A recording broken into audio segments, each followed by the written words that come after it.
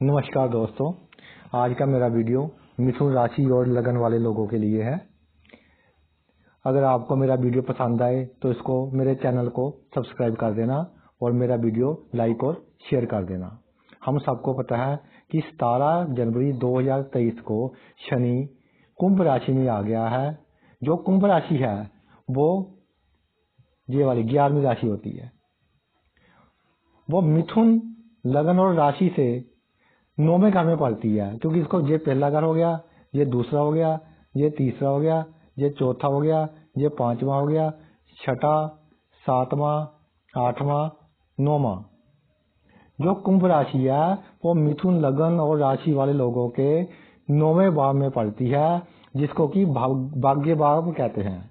जो कुंभ राशि है, वो शनि की अपनी राशि है, इसलिए हम कह सकते हैं कि शनि मिथुन राशि वाले लोगों के कुंडली में गोचर में भाग्य भाव में अपनी ही राशि में आकर बैठ गया है।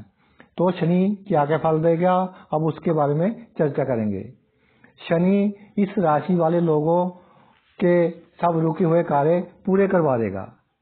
अगर इस राशि वाले लोगों, लोगों का कोई कोर्ट केस चल रहा है कोर्ट में कोई केस चल रहा है तो शनि उसमें भी इन राशि वाले लोगों को विजय दिलवा देगा।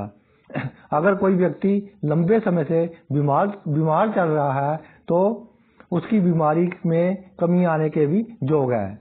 शनि समाज में मिथुन राशि और लगन वाले जातकों की रेपुटेशन को बढ़ाएगा। ये तो होगी शनि की बात। अब मिथुन लगन व राशि वालों के लिए एक और सोने पे सुहागे वाली बात है कि गुरुदेव, जिनको हम बृहस्पति भी कहते हैं, वो मीन राशि में अपने घर में होकर बैठ गए हैं। देखिए जय गुरु महाराज। मीन राशि में दसवें घर में मिथुन लगन और राशि के दसवें घर में अपने घर में होकर बैठ गए हैं। तो गुरु क्या क्या फल देंगे भाई? मिथुन लगन और राशि वालों को गुरु बहुत अच्छा फल देंगे। इस राशि वाले लोगों को गुरु धन लाभ करवाएँगे।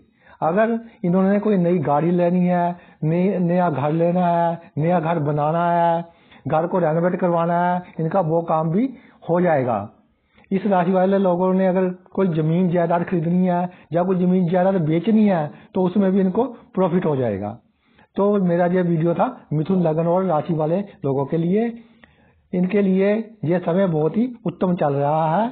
इनको सलाह है कि वो इस समय का पूरा पूरा लाभ उठाएँ। Thank you very